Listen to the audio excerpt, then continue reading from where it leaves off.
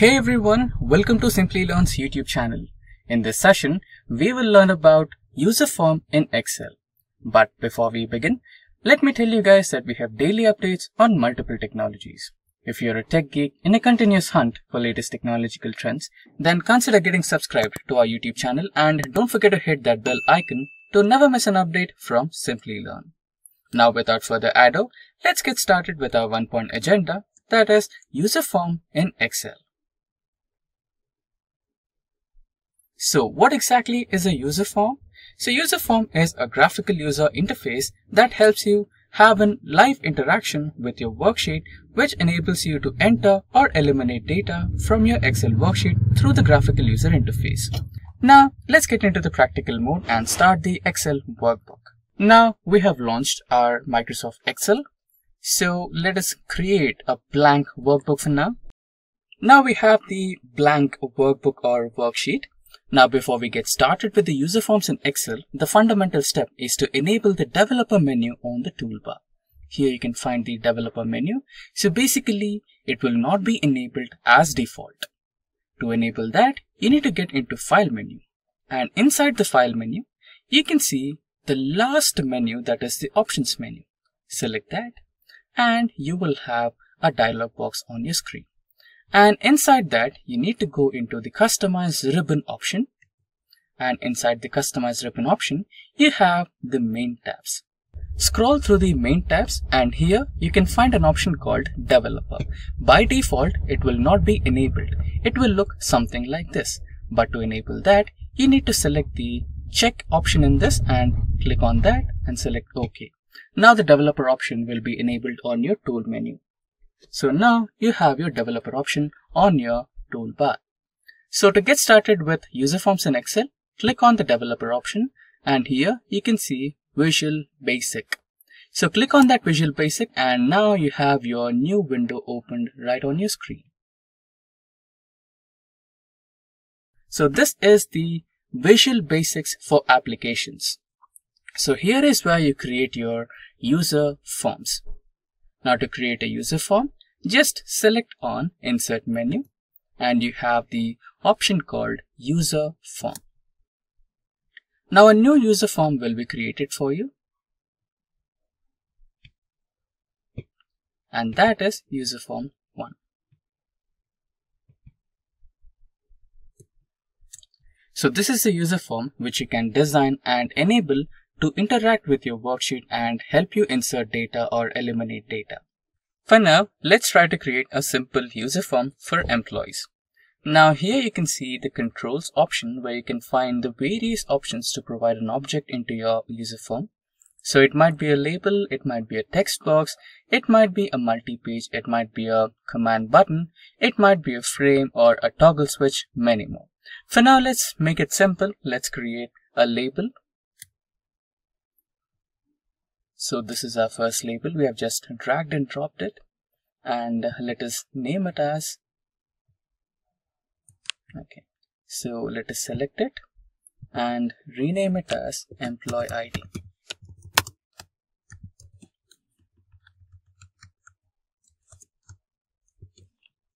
now let's insert another label.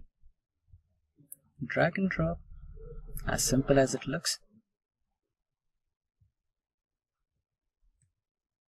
select that and rename it as employee name.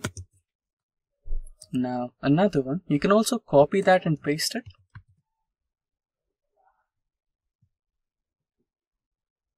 And this should be our employee phone number. Now we have our three labels on the screen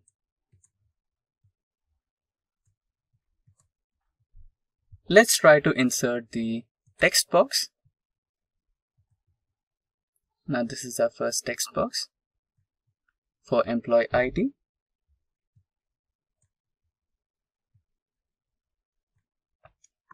Now let's copy and paste it. So another text box for employee name, copy and paste again, and the last text box for employee phone. Now let us try to insert the button. So the first command button let us rename it as insert. Now let us relocate it to a little bit left. Now let us try to insert another button. And here it is. The second button would be refresh sheet the refresh button will play the role of uh, clearing the text boxes in case if there is some data already entered. If you want to clear that you can just press on refresh and it will be cleared. Now we have our user form. So let us try to rename our user form. So here you can see that we have the properties tab and inside the properties tab you can always rename it. And to rename it let us go into caption and rename it as employee data. And that's done. So our basic user form is ready. Now let's get back to excel sheet. So remember that we have created three labels employee id employee name and employee phone we need to create the exact same columns here. So employee id let us expand the column a little bit. Now e m p l o y e e name. Let us also increase the width. And finally we have employee phone there you go. Yeah we have our three columns. Let us select all the three columns and uh, align to middle You can also format your cells. Let us select the green color and text as white and let us bold. Yeah, pretty good. There you go. So we have created our sheet and it's ready now. Now, the last part remaining is we need to code this particular user form. So coding in the sense, we have two buttons over here, right? So those buttons should be performing some kind of operation. So for insert button, the operation should be inserting the data which we have entered into these text boxes. So to program it, just double click on the insert button and here eliminate everything and paste this code. So basically what we did is we had this particular code segment so this is the starting part of the code segment and this is the ending part of the code segment. So we are writing our code in between these two lines. So what did we write here? So end of the row is sheets of sheet name. So this is the sheet name. Right here we have our sheet name as sheet 1. So that is the sheet name where we want to perform the operations and range from A to rows count end XLF row. That is, we are counting the number of rows here. That particular statement will count the rows till the end of the sheet automatically. And after that, it will shift to text box value.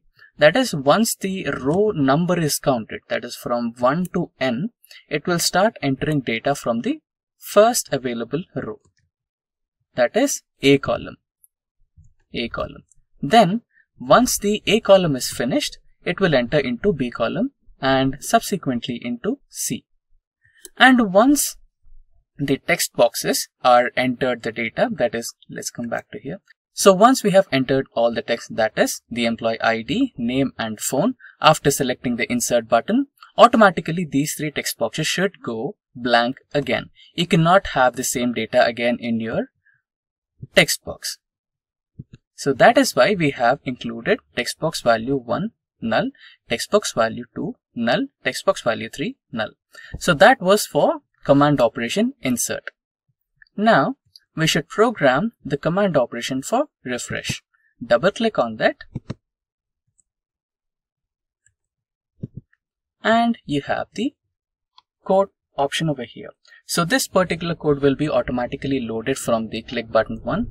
Now for click button 2 you need to add some more data that is refreshing. So whenever you press the refresh button, the text should go blank. For that, we'll use the same code from the previous click button or the command button, paste it over here, and this should perform the clearing operation. And it's done.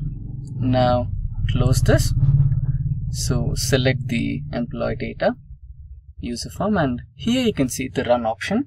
So select that run option and the sheet has the user form here. Now let us enter the employee ID as 12345 and employee name as JOHN. Okay, caps lock is on. JOHN John. Employee phone as um, 1800 231 and select the insert option and the data got inserted. Now let us try to insert another data. 1, 2, 3, 4, 6 employee name Wick. And employee phone number 1800345 yeah by now you might have guessed I'm a fan of John Wick. Yes. And yeah there you go. We have entered the second data over here. Now let me show you another trick where you can place all this user form as a macro and replace this by just one single button so whenever you press that button, this data form or user form will pop up and you can directly start entering data. So for that, let's get back to the Visual Basic and stop this particular execution and you got your user form back. Now you need to insert a model. Get into insert option and select the module or model. Yeah, it is module, not model. So inside this module, you need to write the command for macro. So here it is. So what we are basically doing is amployee data dot show or we can use an underscore and get back to user form and rename this as data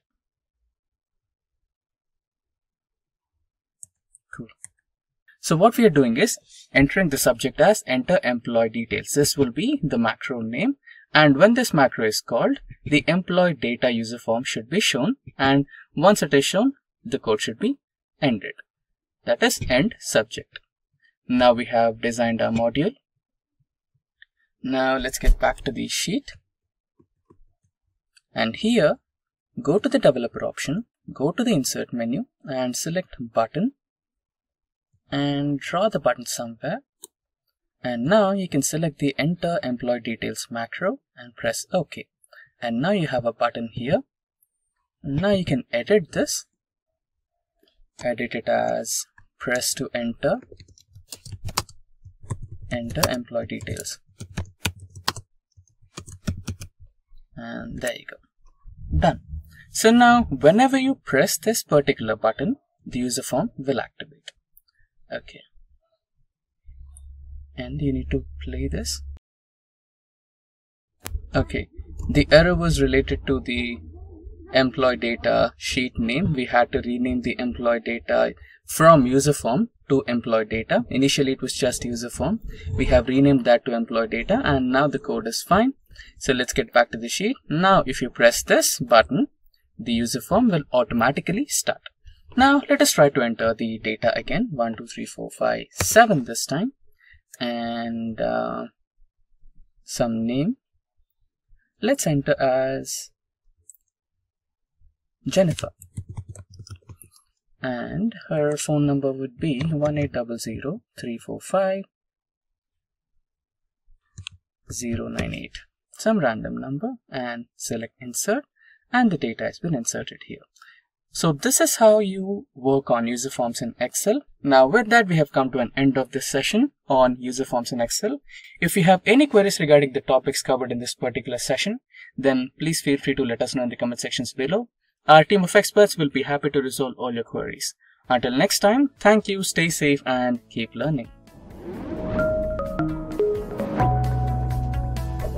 Hi there, if you like this video, subscribe to the Simplilearn YouTube channel and click here to watch similar videos. To nerd up and get certified, click here.